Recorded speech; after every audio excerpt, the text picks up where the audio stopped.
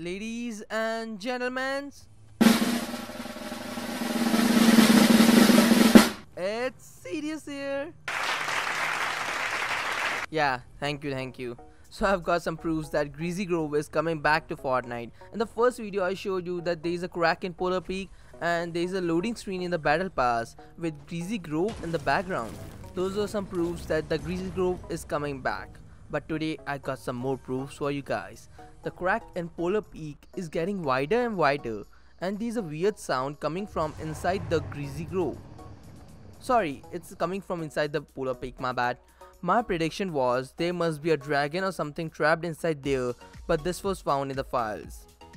It says it's a character and it's referred by the name Cattus. So basically what I understand by this is there is a frozen head of Cattus inside the Polar Peak.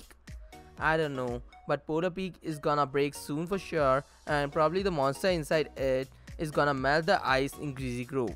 It's either gonna be a live event or it's gonna happen in season 10. Greasy Grove will be back for sure, but there's a possibility that the old Greasy Grove changes into a new one with some updates and stuff. So that's all I got for you guys till now. I'm gonna keep you guys updated with this whole Greasy Grove stuff. Until then, make sure to hit that like button, but don't smash it. I don't want you guys to break your phone over it. Uh, don't forget to subscribe. I will see you guys next time.